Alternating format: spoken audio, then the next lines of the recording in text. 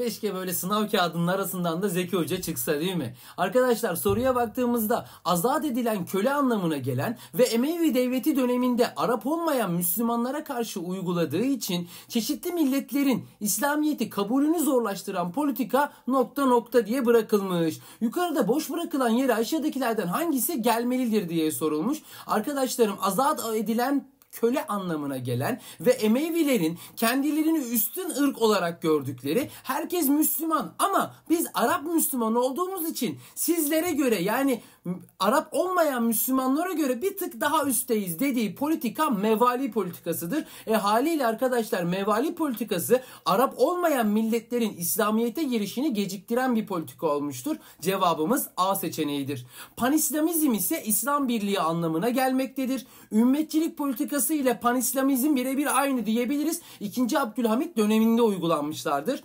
Panslavizm Slav birliği anlamına gelir. Rusya'nın efsanevi politikasıdır. Hala bunu sürdürmeye çalışmaktadır. Makyavelizm ise amaca giden yolda her şeyin mübah görüldüğü politikadır arkadaşlar. Ve arkadaşlarım güzel sorular çözmek istiyorsak iyi soru bankasına ihtiyacımız var. Bu tarzda sorular çözmek için mesaj atabilirsiniz.